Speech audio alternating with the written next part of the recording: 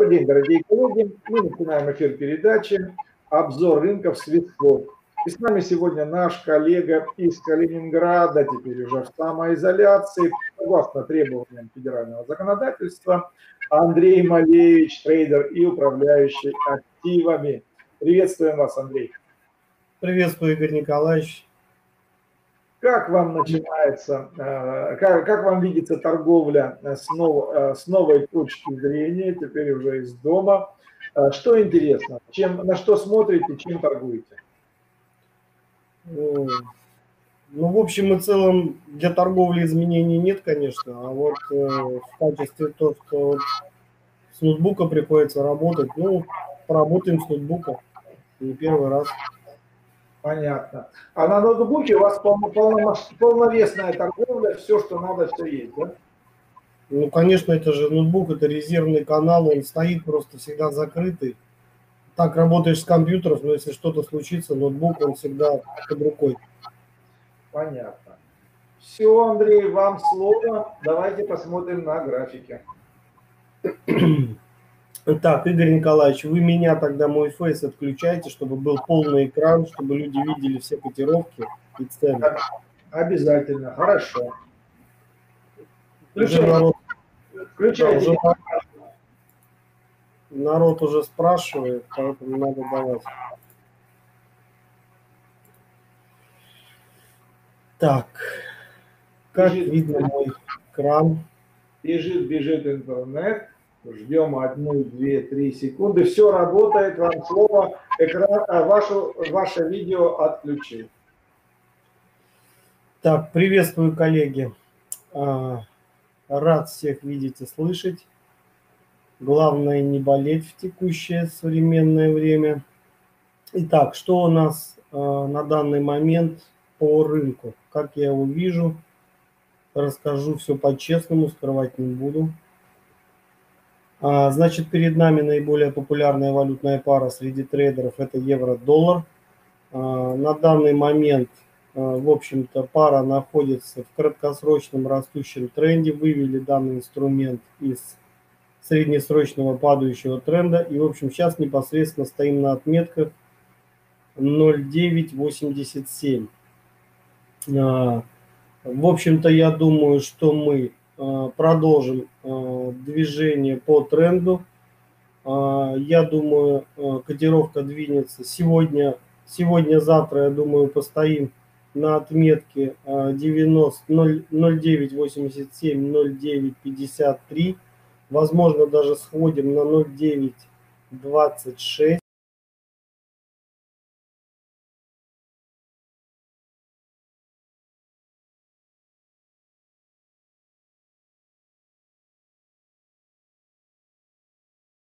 По тренду продолжится. Если сегодня-завтра закрепимся выше отметки 0,9, а, а, то есть уровня 0,987.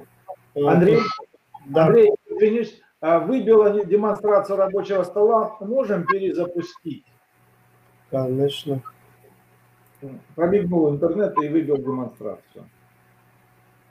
Так. Останавливаем и опять начать демонстрацию. Ага.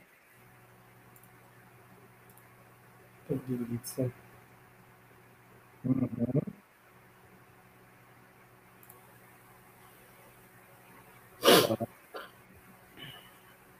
Все видим хорошо. Отлично. А, что я думаю? Значит, я думаю, возможно, а, либо мы а, сегодня-завтра закрепимся выше отметки 0,987, и дальше движение продолжится в направлении краткосрочного растущего тренда к отметкам 10.91 и, возможно, пойдем повыше в район 11.82.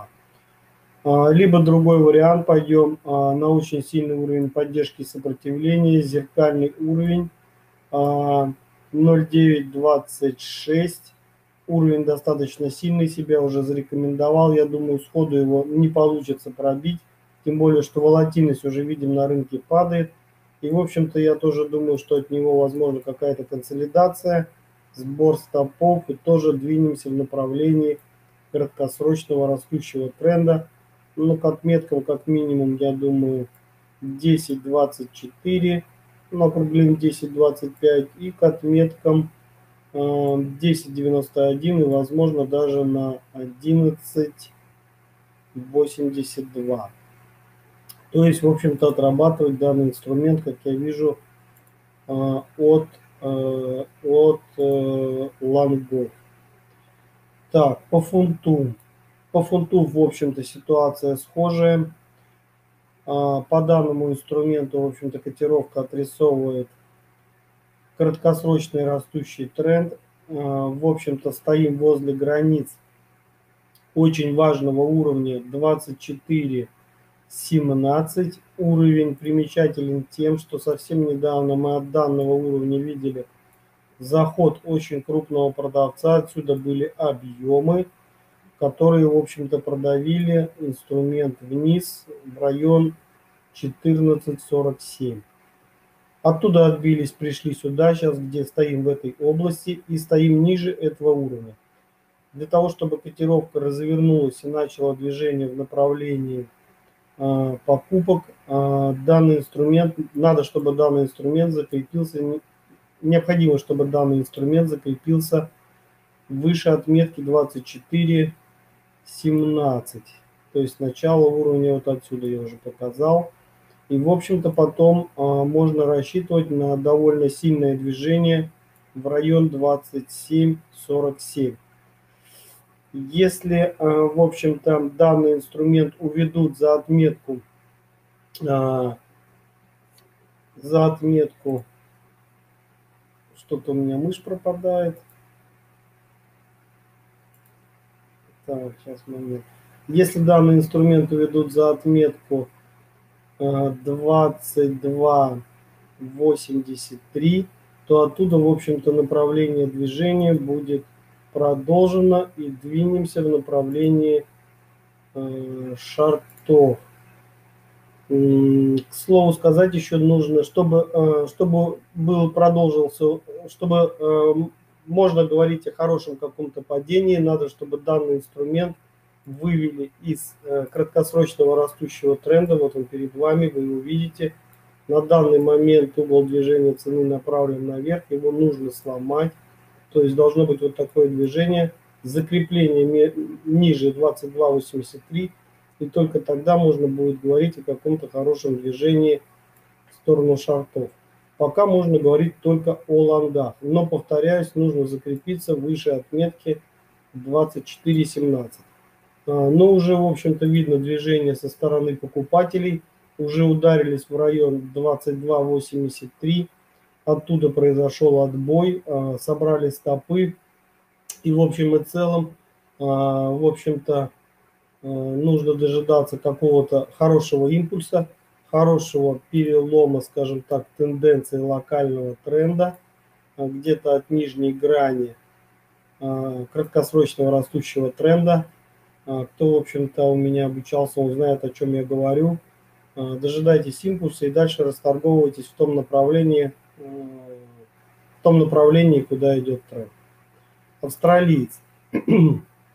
По австралийцу, в общем-то, ситуация схожая – в общем-то, котировка стоит, котировка находится в краткосрочном а, растущем тренде. Это, в общем-то, а, локальный, локальный тренд. В общем-то, вся, вся конструкция по данному инструменту смотрит вниз. Видно, что в данном инструменте, скажем так, долгосрочно и среднесрочно находится продавец, угол движения цены по данному инструменту глобально смотрит вниз. Э, но, в общем-то, э, в моменте данный инструмент находится, как я сказал, в краткосрочном растущем тренде. Поэтому, думаю, в моменте движение наверх продолжится от отметки, ваш, достаточно важный уровень 61.04. Я думаю, сегодня-завтра будет ретест, консолидация возле этого уровня. Если котировку не уведут ниже этого уровня, то движение наверх продолжится как минимум в район 63.01.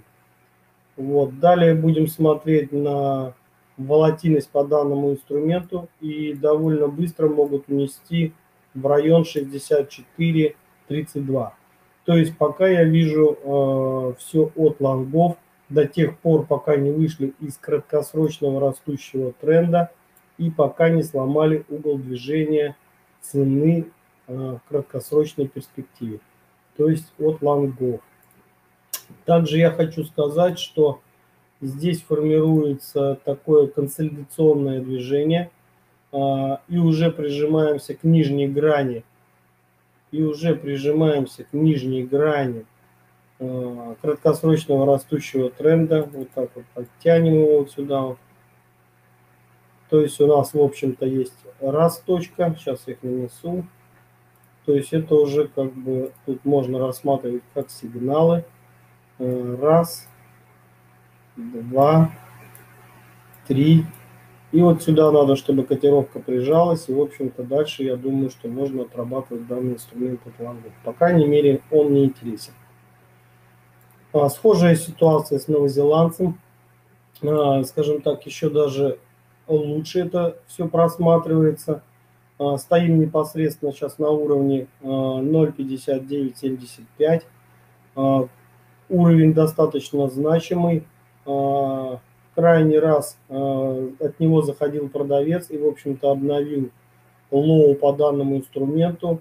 Э, возили данный инструмент на отметку 54.70, обновили минимумы, оттуда отскочили и, в общем-то, пришли к уровню 59.75, еще раз его повторю. И, в общем-то, стоим непосредственно на этом уровне и на нижней границе краткосрочного растущего тренда. Э, также, если посмотреть на данный инструмент непосредственно в 4 часах, то видим консолидационный канал еще пока без пробоя. Но я думаю, пробой будет э, где-то в моменте сегодня-завтра. И, в общем-то, его в 4 часах нужно отрабатывать.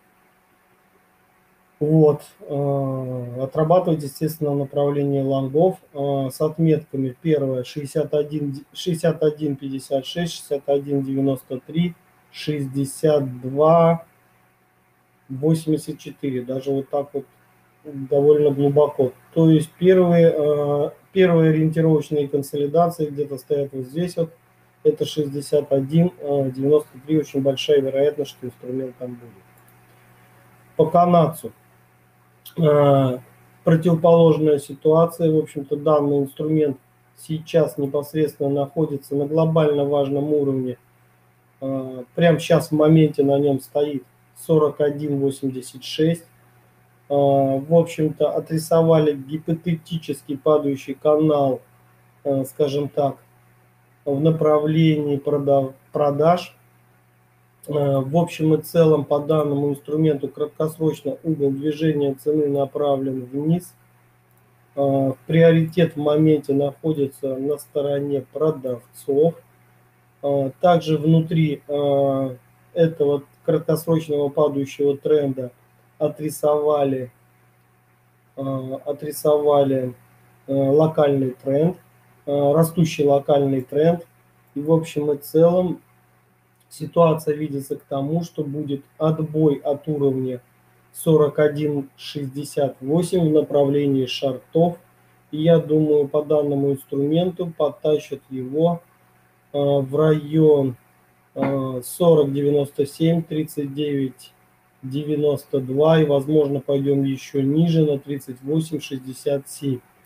А, если посмотреть в часах, то нужно, в общем-то, дождаться а, хорошего пробойного импульса со стороны продавцов, дальше уже цепляться за него и, в общем-то, отрабатывать данный инструмент по тренду. А, франк. Ситуация схожая с канадцем. А, непосредственно стоим на, в дне непосредственно сейчас стоим на глобально важном уровне поддержки и сопротивления 96.29, что говорится без комментариев. А, выступал уровень в роли поддержки, в роли сопротивления, были от него и ложные а, пробои, и отбои, и консолидационные движения с пробоями, и снова ложные отбои. И сейчас стоим непосредственно подошли на него, а, торгуемся, ну можно сказать, прям непосредственно на нем, чуть-чуть в моменте выше него. А, На данный момент у нас приоритет на стороне продавцов. Подошли э, к, нижней, к верхней границе краткосрочного падающего тренда. И я, в общем-то, думаю, что будет э, прорыв по данному инструменту вниз. Э, все это выглядит примерно вот так. В район отметки 95.71, 95.17. Э, то есть я, в общем-то, вижу данный инструмент от шартов. Единственное, нужно правильно зайти, там заходите по своим системам. Э, в общем-то, ну, естественно, конечно, ну, нужно дождаться какого-то сигнала и уже от уровня 96.29 округлим 30 и от верхней грани краткосрочного падающего тренда зашортить доллар против франка. Доллар иена. Здесь ситуация выглядит таким образом. Очень похоже, кстати, на доллар франк. Непосредственно стоим на очень важном уровне 108.46. Тестируем данный, данный инструмент, тестирует этот уровень снизу наверх. Думаю, если сегодня, максимум завтра не возьмут уровень а, и не пробьют, и не уведут, и не закрепятся выше а, данного уровня, а, то, в общем-то, можно формировать позиции в направлении шартов в район отметки 106, 106.76 и, в общем-то, отрабатывать данный инструмент по тренду. А, то есть, напомню, тренд у нас падающий, а, соответственно, угол движения цены находится а, направлен вниз. Инициатива на стороне продавцов. Ко всему в придачу здесь еще 200-дневная скользящая средняя, которая тоже выступает в качестве сопротивления на данный момент. И, в общем-то, я думаю, будет отбиваться и пойдем на отметку 106.76. К слову сказать, что данный уровень а, у нас выступал и в роли поддержки, и в роли сопротивления. Видели мы на нем и консолидационные движения, которые также подходили а, снизу вверх совсем недавно, ударялись а, в данный уровень, ударялись в 200-дневную скользящую среднюю, в верхнюю грань краткосрочного падающего тренда, и после этого были достаточно сильные движения, после которых обновили ну, ситуация, в общем-то, похожая. Но считаю, что силы у продавцов пока не так много, как здесь. Вот здесь была и паника, и эйфория. Но в общем и целом все равно он смотрится с хорошим запасом в направлении шартов и думаю, что его нужно отрабатывать. Тем более, что уровень, данный уровень достаточно сильный. Видели мы на нем много и ножных пробоев, и отбоев – ну, много паттернов было, а, где игроки отбивали этот уровень, и э, надо сказать, что он себя на истории уже зарекомендовал. Соответственно, нужно отторговывать его в направлении, в направлении тренда. По рублю. Ну, что я могу сказать? Если посмотреть в дне на данный инструмент, то, в общем-то, видно, что данный инструмент вывели из Э, скажем так, среднесрочного растущего тренда. Э, замкнулись между двумя уровнями, уровнями 80, 44, 77, 58. Торгуемся в зоне этих, этих двух уровней. Э, но, в общем-то, я по-прежнему считаю, что приоритет находится на стороне покупателей. И в общем и целом данный инструмент нужно отрабатывать от лонгов, от уровней 77,58. Но если повезет и закроют гэп нырнем ниже, примерно от отметки а, может быть 76.20 а, и возможно еще даже ниже сходим на 74,77, 74,90. То есть, ну, 75 округлим. То есть, в общем-то, а, данный инструмент интересен от лонгов, но знаете, я его шарчу а, только от лонгов. И, в общем-то, если посмотреть в 4 часах, а, то уже видны пробойные движения, видны импульсы со стороны покупателей. В общем-то, сейчас идет может быть очень резкий заброс со стороны продавцов. В общем-то, вот сейчас я нарисую, как это может быть. Либо еще раз ретест уровня 77, 77.60, либо с быстрым забросом со, с такой шпилькой, со сбором стопов, дальше вылет сюда, ретест, которого, возможно, может и не быть, и далее э, в направлении лонгов. Вот, то есть э, отрабатывать данный инструмент от лонгов. Золото. По золоту, в общем-то, э, скажем так, в последнее время очень высокая волатильность, да и по всему рынку. Э, инструмент, в общем-то, сейчас непосредственно э, находится в долгосрочном растущем тренде. Пытались данный инструмент с этого тренда вывести, но потом мощными, скажем так, импульсами покупатели вернули данный инструмент на место, там, где он должен быть, но пока не считают, то есть в направлении растущего тренда – Э, и, в общем-то, сейчас непосредственно стоят на отметке 16-11. Э, уровень достаточно важный. Э, также под ним непосредственно находится уровень 1588. Космически сильный уровень, достаточно важный, выступал в роли поддержки и сопротивления. Зеркальный уровень в рамках текущего тренда, думаю, в моменте могут сходить за этот Э, к этому уровню 1588, оттуда, в общем-то, отбиться и повести инструмент в направлении отметок 16 33, 16, 45, куда-то сюда. Э, при текущей волатильности, при текущем рынке инструмент могут утащить очень быстро на 1670, 1683, куда-то сюда. Вот, то есть, э, я думаю, надо данный инструмент отрабатывать от лонгов, в направлении движения краткосрочного растущего тренда. И, краткосро... и краткосрочного растущего тренда, и долгосрочного растущего тренда, где, в общем-то, вся инициатива на стороне покупателей. И, в общем-то, золото смотрится наверх и отрабатывать нужно вот лангу. Так, теперь э, идем на удаленный доступ некоторых, некоторые инструменты я не могу еще, не, не сделал, чтобы они у меня работали на домашнем ноутбуке. Вот. Но что я могу сказать? Сейчас а, перед нами не бренд.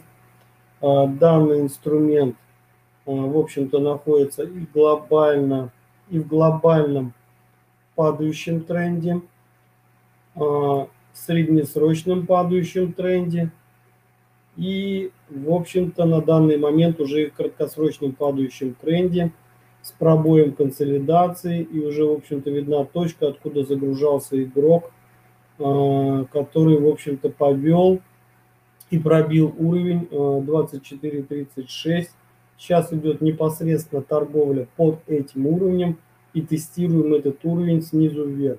То есть, напомню, он выступает уже в качестве сопротивления. А, о каком-то росте э, данного инструмента пока говорить рано. Находится он, э, скажем так, вся инициатива здесь находится пока на стороне продавцов. Угол движения цены и краткосрочный, и долгосрочный, и среднесрочно направлен вниз. А, и просматривается отметка 1987. А, то есть, э, в принципе, если сегодня, завтра, послезавтра – не закрепится данный, данный инструмент выше отметки 24.36, то, думаю, в моменте мы увидим э, отметку 19.78, но округлим 20. То есть поведут инструмент еще ниже. Вот. Ну, посмотрим, как там себя поведет инструмент. Э, чем ниже, э, тем он становится интересней для покупок.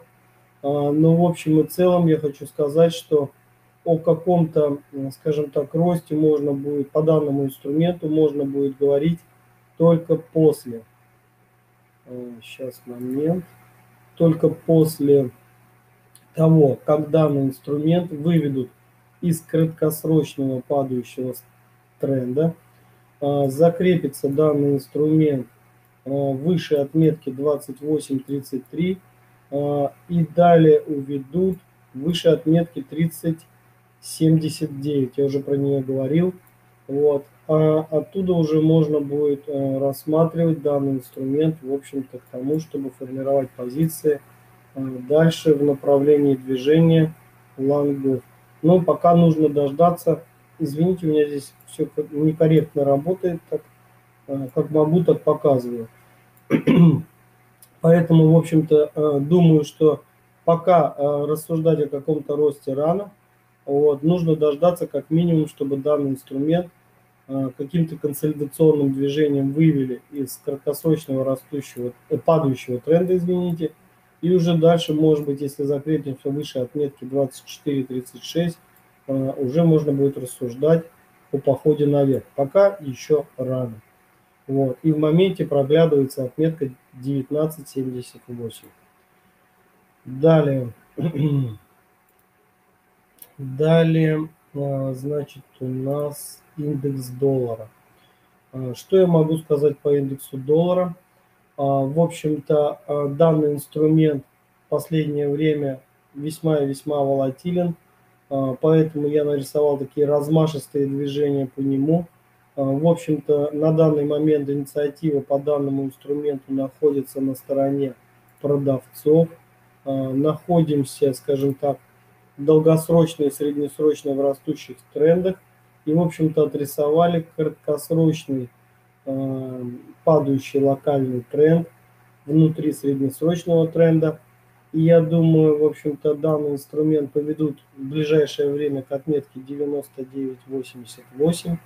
Удар, далее э, в обратную сторону ретест э, и уже к отметке в направлении движения по краткосрочному падающему тренду к отметке 98.56 и ниже э, в зону скопления горизонтальных тиковых объемов примерно, я думаю, вот сюда вот куда-то 200-дневный скользящий средний э, к уровню 98.36, 98.20 и к нижней грани среднесрочного растущего тренда. То есть как-то вот так. А, то есть, в общем-то, данный инструмент, а, в общем, просматривается от шартов, и в моменте я вижу а, приоритет находится на стороне продавцов. Вот, значит, э, что касается по рынку, в общем-то, я обзор дал, направление дал, можете поторговать.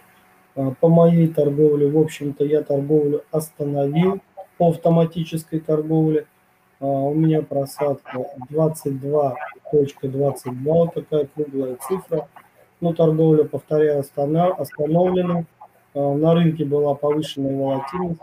А, только единственное, вот вчера под вечер я уже увидел, э, скажем так, что волатильность начала спадать, и, в общем-то, увидел свои рабочие диапазоны для своей автоматической торговой системы. Думаю, в ближайшее время я уже Все, Игорь Николаевич, я закончил. Если есть какие-то вопросы, буду рад ответить. Задавайте, пользуйтесь. Ясненько. Понял вас. Хорошо. Спасибо большое, Андрей, вам за ваш обзор. Пожалуйста, коллеги, ваши вопросы. А, э, Андрей, как вы относитесь вообще э, к мерам по коронавирусу? Считаете их достаточными, обоснованными или все-таки с недовольством их воспринимаете? Как у вас? Я считаю, что наша страна должна была объявить карантин. А, ну, примерно, как это сделано в Германии. Я с Германией держу очень плотную связь. Вот я вижу, что у них происходит. А, я вижу то, что они примерно, мы идем по их пути. Вот. И, в общем-то, Э, немцы такие люди достаточно основательные. Вот. И тоже у них там сначала была какая-то изоляция, то все, какие-то разговоры. И только после того, когда, они, когда начались трупы, после этого они ввели достаточно жесткий карантин с космическими штрафами и так далее. Э, я считаю, что в России нужно вводить карантин, а не какую-то самоизоляцию, смешную, непонятный термин какой-то ввели, вот, придумали его на ходу. Вот. Но государство не хочет платить, это понятно. Вот. Но тем не менее, жизнь людей считаю дороже. Поэтому надо вводить кардинальные меры, карантин, ну, до комендантского часа объявлять чрезвычайное положение и все. Я понял вас. А то, что связано с эпидемиологией, там чрезвычайная ситуация. Положение это военное, а вот э, чрезвычайная ситуация это вот то, что связано с заболеванием. Поняли вас? А, ясненько, но вот видите, э, тут в этом плане я считаю, что мы э, движемся, получается, в правильную сторону, ну а там уже как дальше будут действовать, увидим. А, Андрей, спасибо вам большое за ваш обзор и вашу точку зрения по наиболее важным да, текущим проблемам. Вам хорошего дня и успешной работы сегодня. Спасибо, Игорь Николаевич. А, спасибо, господа трейдеры. Всем здоровья, профитов. Вот. Ну, еще раз будьте здоровы, что я могу посоветовать в этой ситуации. Спасибо, взаимно. Хорошего дня. Хорошего дня, до свидания. До свидания.